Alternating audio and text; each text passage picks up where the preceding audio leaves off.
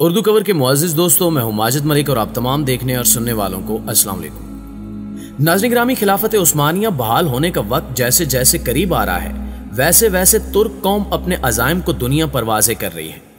तुर्क सदर रजब तैयब उर्दगान हिजाज मुकदस का कंट्रोल हासिल करना चाहते हैं। क्या अगले चंद सालों में मक्का और मदीना तुर्की के कंट्रोल में होंगे? क्या तैयब उर्दगान मुआदा लवाजन खत्म होते ही सऊदी अरब पर चढ़ाई कर देंगे? आज हम आपको बताएँगे कि तुर्क कौम मुस्तकबिल करीब में क्या करने जा रही है। और तैयब उर्दगान का वीएन 2023 क्या है, यह जानने के लिए वीडियो को आखिर तक ज़रूर देखिएगा। मुआजिज नाजरीन ग्रामी अरतुल गाजी के बेटे उस्मान ने खिलाफत उस्मानिया की बुनियाद रखी थी। ये बड़े तगड़े और पक्के मुसलमान थे। इन्होंने सवा छह सौ साल तक अपने असूलों के मुताबिक हुक्मरानी की और खिलाफत चलाई। मुसलमानों और इस्लाम का झंडा इन्होंने हमेशा बुलंद रखा। जंगें लड़कर बहुत सारे इलाके फतह किए और इस्लाम को बेशुमार इलाकों तक फैलाया। लेकिन इसके बाद फिर सल्तनत उस्मानिया पर ऐसा जवाल आया कि तुर्क कौम को मुआदा लवाजन में जकड़ दिया गया और सौ साल के बाद अब वो मुआदा खत्म होने जा रहा है।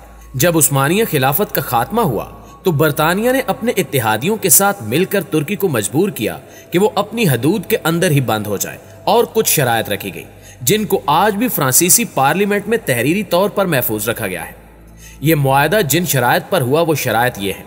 खिलाफत उस्मानिया खत्म कर दी जाएगी। उस्मानिया खिलाफत जब खत्म हुई तो इसके जानशीनों को कत्ल किया गया, इनको जिला वतन किया गया और इनके असासे जब्त कर लिए गए। ये असासे जब जब्त किए गए तो तीन बरआजमों के अंदर बेशुमार मालो दौलत थी। बहुत सारी जायदादें थीं, जो सारी बरतानिया और इसके इतिहादियों के पास चली गई। इसके बाद तुर्की को एक सेकुलर रियासत बना दिया गया। उसमें से इस्लाम को खत्म कर दिया गया और खिलाफत के ऊपर पाबंदी लगा दी गई। इसके बाद एक और पाबंदी यह लगाई गई कि तुर्की पेट्रोल नहीं निकाल सकता। यानी तुर्की ना तो अपने मुल्क से और ना ही अपने मुल्क से बाहर कहीं से मादनियात निकाल सकता है। ये बहुत बड़ी ज्यादती थी, क्योंकि तुर्की की ज़मीन के अंदर तेल मौजूद है। इसके बावजूद वो दूसरे ममालिक से तेल खरीदने पर मजबूर है। तुर्की के पास एक बासफोरस समंदर है और साले समंदर एक बहुत ही ज़बरदस्त बंदरगाह है। इसको बैन अवी करार दिया गया है। यानी कोई भी यहाँ से अपनी मर्ज़ी से आ जा सकता है और तुर्की किसी से भी टैक्स नहीं ले सकता। दोस्तों, ये बहुत बड़ी पाबंदी थी जो तुर्की पर लगा दी गई।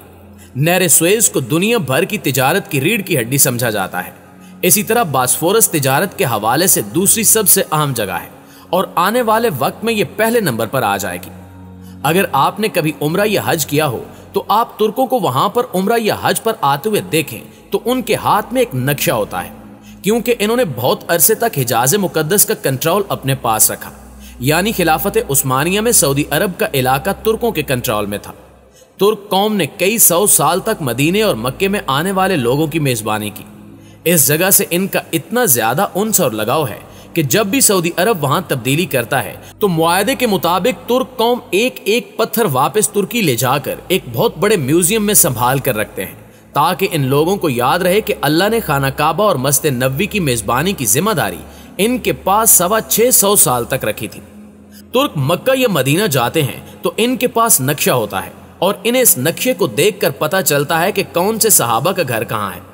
पिछले सौ सालों से तुर्क खाना काबा में अल्लाह ताला से रो रो कर ये दुआ करते हैं कि ए अल्लाह हमसे नाराज़गी खत्म कर दे। जो मेजबानी के शरफ हमें दिया था वो वापस दे दे। तुर्क सदर रजब तैयब उर्दगान ने एक मुल्की कॉन्फ्रेंस में इस बात का इजहार भी किया था कि मुआद लवाजन के खत्म होने के बाद वो मक्का और मदीना का कंट्रोल वापस लेने के ख्वाहिशमंद हैं, जबकि ये तासुर भी पाया जाता है कि तैयब उर्दगान इस कंट्रोल को हासिल करने के लिए सऊदी अरब पर चढ़ाई भी कर सकते हैं। ताहम ये तो आने वाला वक्त ही बता सकता है। दोस्तों, इससे हटकर अगर गैर जानबदार माहरीन की राय ली जाए तो वो बिल्कुल मुख्तलिफ़ है। अगर बात की जाए पाकिस्तान की तो पाकिस्तान में सोशल, इलेक्ट्रॉनिक और प्रिंट मीडिया में तवील अरसे से तुर्की के मुआदा लवाजन के सौ साल पूरा होने के बाद मुआदा खत्म होने और इसके नतीजे में तुर्की को मुकम्मल तौर पर आज़ादी हासिल होने की खबरें और तबसरे जगह जगह चले आ रहे हैं। तबसरे देखें तो आपको महसूस होगा कि मुआदा लुजान वाकई 2023 में एक सौ साल मुकम्मल होने पर अंजाम को पहुँच जाएगा और तुर्की मुकम्मल तौर पर आज़ाद होते ही अपनी अजमत रफ्ता हासिल कर लेगा। लेकिन चंद माहरीन कहते हैं कि ऐसी कोई दस्तावेज़ तुर्की, फ्रांस, अमरीका, बरतानिया या दुनिया के किसी भी मुल्क में मौजूद नहीं है, क्योंकि हकीकत में ऐसी किसी दस्तावेज़ का सिरे से वजूद ही नहीं है। इन माहरीन में से चंद एक ऐसे भी हैं, जिनका ख्याल है कि 2023 में इस मुआदे के खात्मे के साथ ही तुर्की अपनी जमहूरी हैसियत खत्म करके खिलाफत उस्मानिया को बहाल करने का ऐलान कर देगा। इसकी दलील कुछ यूँ भी दी जाती है कि तुर्की ने जब खुद ही इस मुआदे पर दस्तखत करते वक्त खिलाफत उस्मानिया की हदूद में वाक़ तमाम ममालिक, यानी शाम, इराक, लबनान और सऊदी अरब को अलग अलग आज़ाद रियासतों के तौर पर तस्लीम कर लिया। और ये तमाम ममालिक अब अकवाम मुतहदा के रुकन भी हैं तो वो भला कैसे इन्हें दोबारा अपनी खिलाफत में शामिल कर सकता है? दूसरी अहम बात, तुर्की अब एक जमहूरी मुल्क है, और इस जमहूरी मुल्क में तमाम इदारों का नज्म नसक जमहूरियत या डेमोक्रेसी के असूलों के मुताबिक ही चलाया जाता है। पाकिस्तान के माहरीन भी इस बात का दावा करते हैं कि तैयब उर्दगान 2023 में दोबारा सदर मुंतखब होने के बाद मुल्क में खिलाफत बहाल कर देंगे। वो ये बात भूल जाते हैं कि उर्दगान ने कभी खिलाफत कायम करने का ऐलान नहीं किया, क्योंकि इन्हें इस बात का अच्छी तरह एहसास है कि वो खुद भी जमहूरी तरीके से मुंतखब होकर आए। और अगर इन्होंने अवाम से खिलाफत कायम करने का वादा करते हुए सदारती इंतबात में वोट लेने की कोशिश की तो वो किसी भी सूरत इतने वोट हासिल नहीं कर सकेंगे कि एक बार फिर सदर मुंतखब हो जाए। इसी तरह पाकिस्तानी माहरीन का ये दावा भी बड़ा मजक्का खेज है कि तुर्की को अब तक मुआदे लुजान की रूह से अपनी सरजमीन से पेट्रोल या मादनियात निकालने की इजाज़त हासिल नहीं है। जबकि इससे आज़ादी हासिल करने वाले तमाम अरब ममालिक जिनमें इराक और सऊदी अरब पेश पेश हैं बड़े पैमाने पर पेट्रोल निकाल रहे हैं। इनके लिए अर्ज़ है कि मुआदा लुजान एक सौ तैंतालीस शिकों पर मुश्तमिल है। क्या इन्होंने इस लुजान अमन मुआदे की तमाम शिकों का जायजा लिया है? हम यकीन से कह सकते हैं हरगिज नहीं, क्योंकि इन शिकों में ऐसी कोई शिक मौजूद ही नहीं है और माहरीन सिर्फ़ सुनी सुनाई बातों पर ही यकीन करते चले आ रहे हैं। तुर्की अपने क्याम से ही अपने कुदरती वसाइल खास तौर पर तेल और मादनियात के हवाले से खुद मुख्तार है, बल्कि जहाँ तक मादनियात की तलाश का ताल्लुक है तो तुर्की दुनिया में वो वाद मुल्क है, जहाँ से बड़े पैमाने पर मादनियात, जो ज़्यादातर तोानाई की जरूरियात पूरी करने के लिए इस्तेमाल की जाती हैं, को दुनिया के मुख्तलिफ़ ममालिक को बरामद किया जा रहा है। और बोर मादनियात में तुर्की इस वक्त तिहत्तर फ़ीसद पैदावार के साथ पहले नंबर पर है, और दुनिया की बोर की उनसठ फ़ीसद जरूरियात को अकेला ही पूरा करता है। इसके अलावा तुर्की में बड़े पैमाने पर तांबा, कोयला, सोना, क्रोमियम, मैग्नीशियम, मरकरी, लोहा, गंधक नमक और दीगर मादनियात को भी निकाला जा रहा है।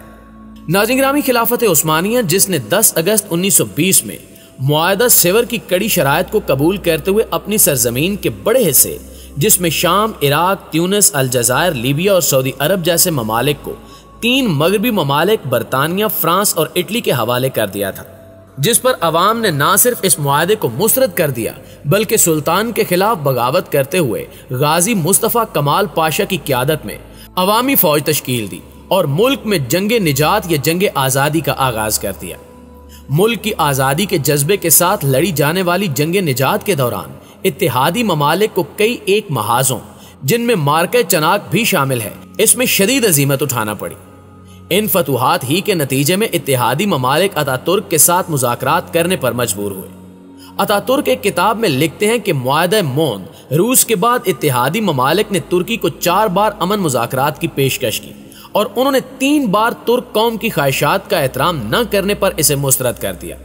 तहम चौथी बार तुर्क कौम की ख्वाहिशात का एहतराम करने पर स्विट्जरलैंड के शहर लुजान में अमन मुजाकर में शिरकत करने की हामी भरी। लेकिन इब्तदा में इन मुजाकर में तुर्की के लिए मुश्किल खड़ी किए जाने पर इन मुजाकर का बाइकाट कर दिया। जिस पर दोबारा से शुरू होने वाले कठिन मुजाकर के नतीजे में। जुलाई 1923 में लुजान के रोमन पैलेस में लुजान अमन मुआदा तय पाया, जिसे उस दौर में तुर्क ज़ुबान में लुजान सुलहनामा से याद किया जाने लगा।